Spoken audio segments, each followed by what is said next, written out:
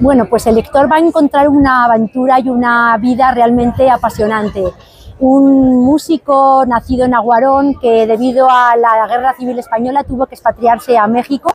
y que allí inició una nueva vida un hombre que vivió siempre desde el optimismo, desde, la, desde el perdón, desde la búsqueda de la concordia y además con una absoluta obra musical de un interés muy relevante. Entonces merece la pena, digamos, todo lo que es la parte musical, por cuanto eh, la evolución que él sufrió desde un nacionalismo hasta una vanguardia, por, una, por un lado, pero luego también esa mm, vida inspiradora, esa vida apasionante que supo con honestidad, con rectitud dirigirse durante toda la vida, un hombre muy humanista y que enfrentó todas las vicisitudes de su vida, que fueron muchas, pues con absoluta mm, eh, siempre humanidad y con una eh, pues gran pasión por la vida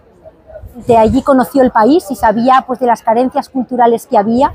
había fortalezas y debilidades y sabían que en la cultura y en la música las había, entonces él como conocedor de la música y de lo que era la idiosincrasia del país intentó una reforma a nivel musical tanto en las enseñanzas generales eh, intentando implantar la música desde el infantil hasta la universidad y luego también mejorando la condición de las enseñanzas profesionales de música porque los músicos tampoco tenían un gran reconocimiento. Entonces pretendió de alguna manera que con este eh, sistema que él, proponía pudiese la música alcanzar más nivel y que luego también eh, alcanzase a, que la música tuviese ese carácter social que les favoreciera para que pudieran tener pues una mayor cultura. O sea que